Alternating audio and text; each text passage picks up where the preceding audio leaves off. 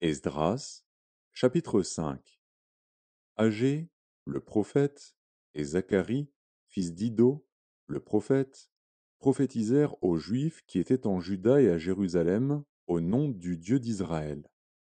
Alors Zorobabel, fils de Shealtiel, et Josué, fils de Jotsadak, se levèrent et commencèrent à bâtir la maison de Dieu à Jérusalem. Et avec eux étaient les prophètes de Dieu qui les assistaient. Dans ce même temps, Tatnaï, gouverneur de ce côté du fleuve, Chétar Boznaï et leurs collègues, vinrent auprès d'eux et leur parlèrent ainsi. Qui vous a donné l'autorisation de bâtir cette maison et de relever ses murs? Ils leur dirent encore. Quels sont les noms des hommes qui construisent cet édifice? Mais l'œil de Dieu veillait sur les anciens des Juifs et on laissa continuer les travaux pendant l'envoi d'un rapport à Darius et jusqu'à la réception d'une lettre sur cet objet. Copie de la lettre envoyée au roi Darius par Tatnaï, gouverneur de ce côté du fleuve. Chétar Boznaï et leurs collègues d'Apharzak, demeurant de ce côté du fleuve. Ils lui adressèrent un rapport ainsi conçu. Ô roi Darius, salut. Que le roi sache que nous sommes allés dans la province de Juda, à la maison du grand Dieu. Elle se construit en pierre de taille, et le bois se pose dans les murs. Le travail marche rapidement et réussit entre leurs mains. Nous avons interrogé les anciens, et nous leur avons ainsi parlé. Qui vous a donné l'autorisation de bâtir cette maison et de relever ses murs?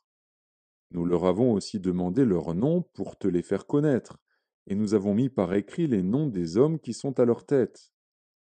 Voici la réponse qu'ils nous ont faite. Nous sommes les serviteurs du Dieu des cieux et de la terre, et nous rebâtissons la maison qui avait été construite il y a bien des années. Un grand roi d'Israël l'avait bâtie et achevée. Mais après que nos pères eurent irrité le Dieu des cieux, il les livra entre les mains de Nebuchadnezzar, roi de Babylone, le Chaldéen, qui détruisit cette maison et emmena le peuple captif à Babylone. Toutefois, la première année de Cyrus, roi de Babylone, le roi Cyrus donna l'ordre de rebâtir cette maison de Dieu.